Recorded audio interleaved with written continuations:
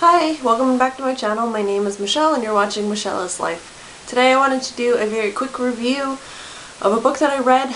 I signed up for NetGalley after I saw that Cat Winters' ARC was available. I was declined for that ARC, but I figured that I would read a book so that I could build up my credibility with NetGalley so that I may be able to read future ARCs that I'm more interested in. The title of the book is called Fairy Tales for Modern Queers. Yes, that definitely stands out and you're like, what?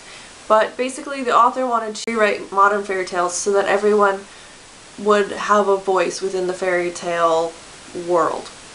Um, and I thought that was really interesting, so I picked it up.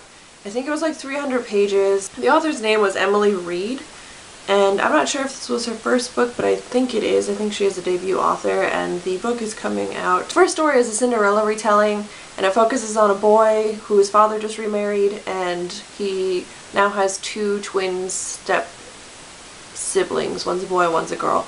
He is bullied, and it was just a really bad retelling. I don't, I don't know. He falls in love with or has a crush on a boy in his class, and the boy finds um, one of his mother's things that one of the twins stole and it was just very boring and I felt like the book shouldn't have started off with that story. I think there were like 10 retellings, I don't remember quite how many there, I don't remember how many there were exactly, but my favorite were um, the, it was called Mermaid, which was a retelling of The Little Mermaid, but from the stance of a siren, um, where women were thrown overboard and they became mermaids and then they enacted their revenge on the people who tried to kill them. And that was really good.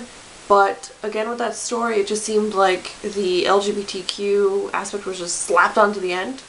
Um, so it seemed kind of silly. Another one that I really liked was, um, it was called Fire Escape and it was a retelling of Rapunzel and that one was more interesting because it focused on the dynamic of the mother and the daughter and it did have the LGBTQ aspect in it um, but I like that it was just I don't know it was a, a well-crafted story. So there were about three stories in this short story collection that I really liked but I felt that if there were less stories and she could have just focused on just a couple in this book that it would have been a lot stronger because I liked her characters and, well, some of them, and I liked her details that she changed and I thought that um, the trans story was really good. It was the Princess and the Pea retelling, that one was really good. But overall I just gave this book a 3 stars and I kind of think it deserved like 2.5 just because it was very raw and I do understand that some of the stories were metaphors for whether they were like Sleeping Beauty was kind of like a metaphor for, you know, closeted people.